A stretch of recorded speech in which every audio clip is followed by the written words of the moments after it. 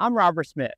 Armies from both sides occupied Bledsoe County at various times during the terrible conflict of the Civil War. Confederate General Braxton Bragg marched 27,000 troops up the Sequatchie Valley in August of 1862, on his way from Chattanooga to link up with other armies to invade Kentucky.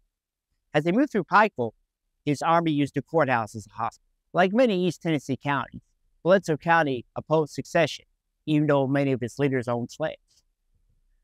But loyalties were divided. Neighbor turned against neighbor.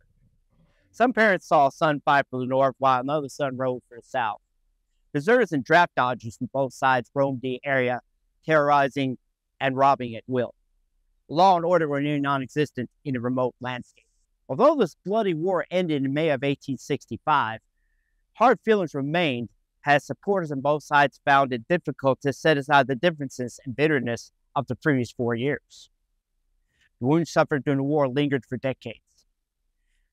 County lost more than 100 soldiers to fighting, mostly from disease, changing families forever. Your next stop is the Veterans Park,